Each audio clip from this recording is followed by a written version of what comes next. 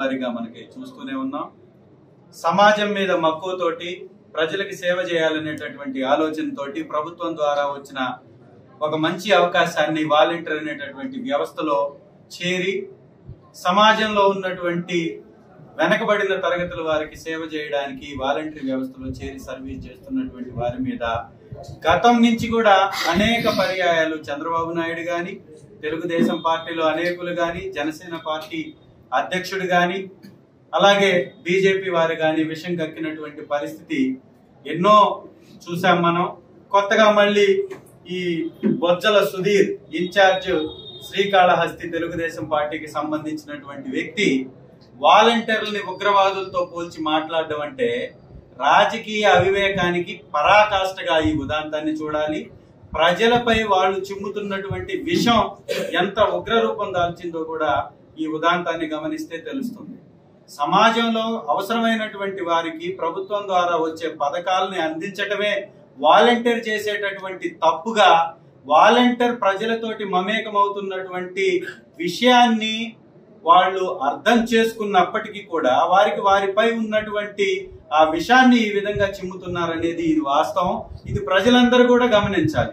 దాదాపుగా ఈ రాష్ట్రంలో ఉన్నటువంటి ఎస్సీ ఎస్టీ బీసీ మైనారిటీలతో పాటు ఓసీ సామాజిక వర్గంలో ఉన్నటువంటి వెనకబడిన తరగతులు వారందరికీ కూడా పథకాలు ఇచ్చారు వాలంటీర్లు.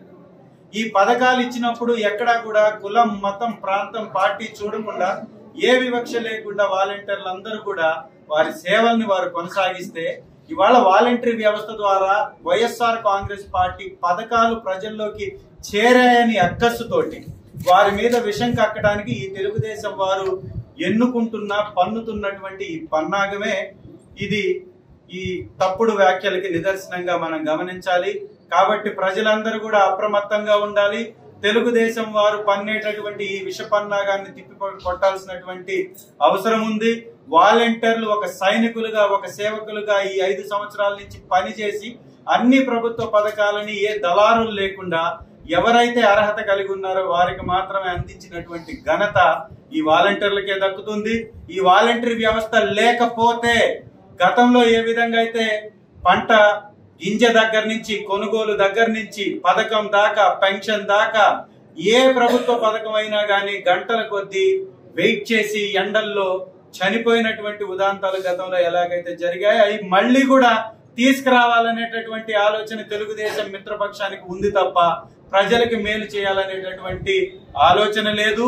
వాలంటరీ వ్యవస్థని సమూలంగా వారు తీసివేయాలనేటటువంటి పన్నాగం బంతున్నట్టుగా ఈ ఉదాంతాన్ని చూస్తే మనకు అర్థమవుతుంది. వాలంటరీ వ్యవస్థ లేకపోతే దళారులు పెరిగిపోతారు. ప్రభుత్వ పథకాలు అర్హత కలిగినటువంటి వారికి అందదు అనేది వాస్తవం కాబట్టి ఇలాంటి తప్పుడు వ్యాఖ్యలు చేసేటటువంటి వారిని తరిమి కొట్టవలసినటువంటి అవసరం ఉంది. ఖచ్చితంగా విఘ్నతతోటి మాట్లాడాల్సినటువంటి అవసరం ఎంతైనా ఉంది. ఎవరైతే పోటీ చేస్తున్నారో వారు గతంలో ఏ పార్టీ ద్వారా పోటీ చేశారో ఇవాళ పోటీ చేస్తున్నారో ఆ పార్టీ ద్వారా గతంలో జరిగినటువంటి మేలును బట్టి ఓటు అడగాలి తప్ప ఈ రాష్ట్రానికి తెలుగుదేశం పార్టీ ద్వారా నలభై సంవత్సరాల్లో నిజంగా ఏదన్నా వాళ్ళు చేసి ఉంటే అది చేసి ఓటు అడగాలి తప్ప ఈ విధమైన తప్పుడు వ్యాఖ్యలు చేయడం అనేది సరికాదు. వైఎస్ఆర్ కాంగ్రెస్ పార్టీ యొక్క విధానం చాలా స్పష్టం. మేము చేసినటువంటి మంచిని బట్టి మేము ఇచ్చినటువంటి మేలును బట్టి అభివృద్ధిని బట్టి మాత్రమే ఓటు అడుగుతున్నటువంటి పార్టీ వైఎస్ఆర్ కాంగ్రెస్ పార్టీ. ఇది మా విధానం. నిజంగా ఈ జనసేన తెలుగుదేశం బీజేపీ ఏమి చెయ్యలేదు కాబట్టే వారి ఇలాంటి తప్పుడు కార్యక్రమాలకి శ్రీకారం చుట్టి ప్రజలలో ఒక అభద్రతా భావాన్ని రేకెత్తించేటటువంటి ప్రయత్నం చేస్తున్నారు. ఇది ప్రజల మధ్య చిచ్చు పెట్టేటటువంటి కార్యక్రమం పన్నుతున్నారు. వాలంటీర్ వ్యవస్థ మీద విషం కక్కేటటువంటి ప్రయత్నం చేస్తున్నారు. సమాజాన్ని వాలంటీర్లకు వ్యతిరేకంగా తయారు చేసేటటువంటి ప్రయత్నం చేస్తున్నారు. దీన్ని ఎవరు సమర్థించకూడదు. ఇది ఖచ్చితంగా కూడా తీవ్రమైన చర్యగా ఈసీ కూడా పరిగణించాలి.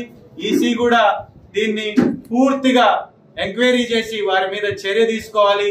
గతంలో ఏ విధంగా అయితే పవన్ కళ్యాణ్ వాలంటీర్ల నడ్డి విరగొడతామని మాట్లాడాడో అదే ఆ రోజే కానీ ఏదైనా చర్యలు గాని తీసుకున్నట్లయితే ఇలాంటి సంఘటనలు మళ్ళీ రిపీట్ అవేది కాదు.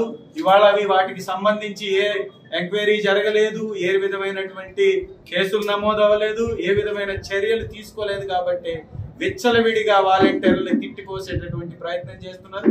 ఇది ఖచ్చితంగా ఎన్నికల నిబంధనకు ఉల్లంఘించినట్లే అవుతుంది. ఒకరిని రెచ్చగొట్టి ఒకరి మీదకి ఎగదోలే ప్రయత్నం చేయడం అనేది కూడా ఈ సమాజానికి మంచిది కాదని మనవి చేసుకుంటూ ఇలాంటి వారిని ఖచ్చితంగా కూడా ప్రజలందరూ క్షమించకూడదని ప్రజలకు కూడా నేను పిలిపిస్తూ ముగిస్తున్నాను.